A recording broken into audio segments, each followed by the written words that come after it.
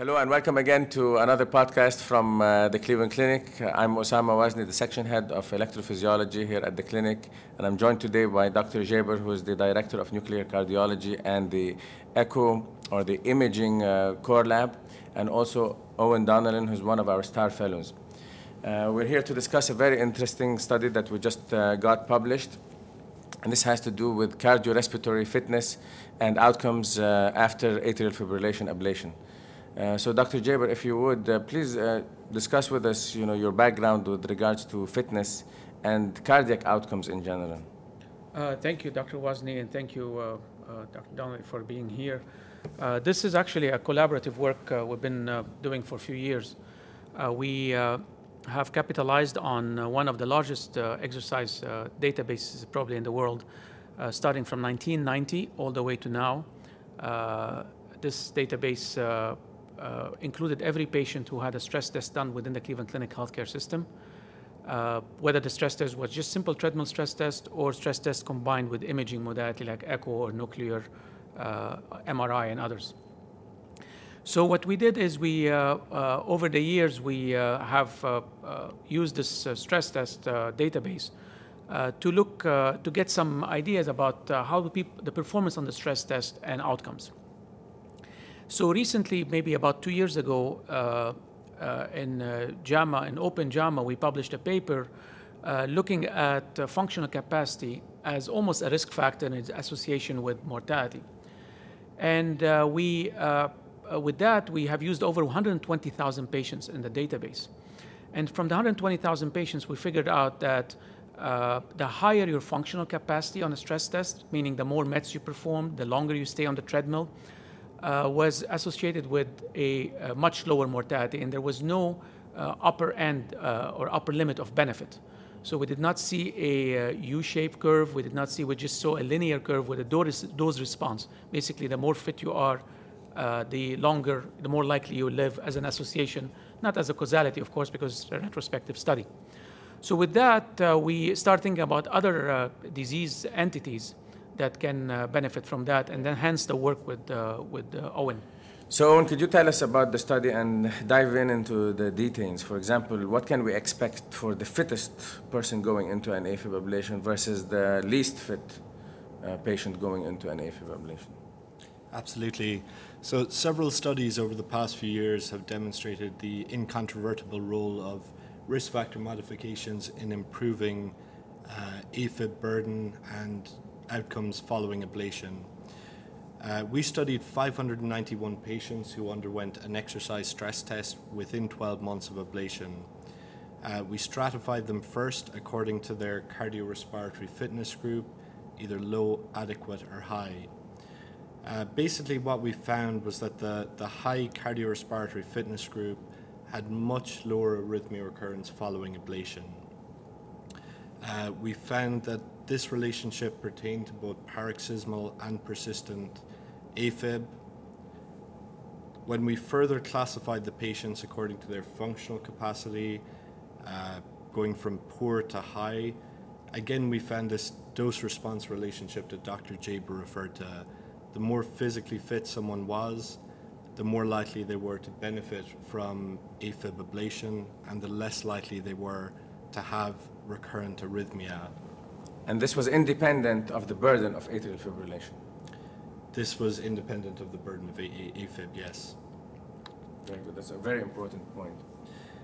Importantly, we, we, when we looked at mortality following ablation, we also found that the highest cardiorespiratory fitness group also had the lowest mortality in the, uh, in the, in the, in the years following ablation. This is mortality not related to ablation itself. This is just overall. No, this is overall mortality. Yes. Correct. Yeah. Just to clarify. Uh, finally, when we divided our, our cohort into percentiles, again we demonstrated a dose response relationship. Um, the fitter someone was, the less likely they were to, to have arrhythmia recurrence. That's a very important data, and I think it's very important for our um, referring physicians to start the dialogue with the patients about risk factor modification. Frankly, when I see a patient now in clinic and they do very well after an ablation, and if we've had this discussion before, they thank me more for losing weight than for staying out of atrial fibrillation. Because if you think about it, yes, atrial fibrillation is, is, is, is, is a risk factor itself, also regarding mortality, but the bigger risk factors have to do with obesity, hypertension, and diabetes. And if we can control their weight and their uh, fitness levels, then those factors will also improve, and that's why probably we had the mortality benefit that you observed uh, in the study. So one, one of the things actually looking at this graph, uh, I kept on thinking about uh, when, Uh, by the way, this is published in the Heart Rhythm uh, Journal uh, this, uh, this week. Uh, one of the, of the things about it is like, if you, are, if you have, have to invent an antiarrhythmic medication, and you have to trust, test a dose response to that medication without toxicity, uh, this is this graph represents that antiarrhythmic medication. This is, this is the best antiarrhythmic. So you can have you can use your fitness as an antiarrhythmic medication without any toxicity. So because most drugs we use at the upper limits have some toxicity, here we have a drug that at low dose, you know, is not that effective, and at a very high dose, it's actually extremely effective. Unfortunately for us, also at the at the clinic, uh, in our same Heart and Vascular Institute, in the same building we are able to provide all the care that the patients need uh, for achieving this. So we have in our own core group uh, a preventive cardiologist who treats diabetes, another that treats uh, hypertension, very soon someone who will treat sleep apnea, and we already have you know, exercise physiologists, uh, so that we're all co-located and we don't have to refer them to uh, an endocrinologist across the street, for example. They're all in the same building and it, became, it makes it uh, very effective for the patients and convenient for the patients when, when they come here. So, um, any final thoughts, uh, Eoin, on, on where to go with this um, data and findings? I think the next step really is uh, to, to look at this prospectively, um, you know, to, to validate these results.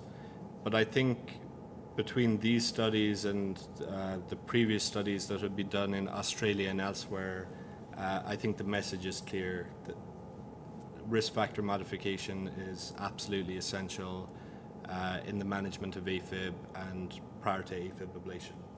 Dr. Jim? So and, uh, this is actually another opportunity to show the wonderful work you, Eoin, have done over the past few years in shedding a lot of uh, traditional risk factors light on, on atrial fibrillation uh, from the, uh, your work on obesity and, uh, and sleep apnea and other risk factors.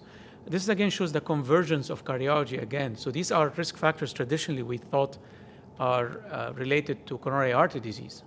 And now we're finding out that these are all the same.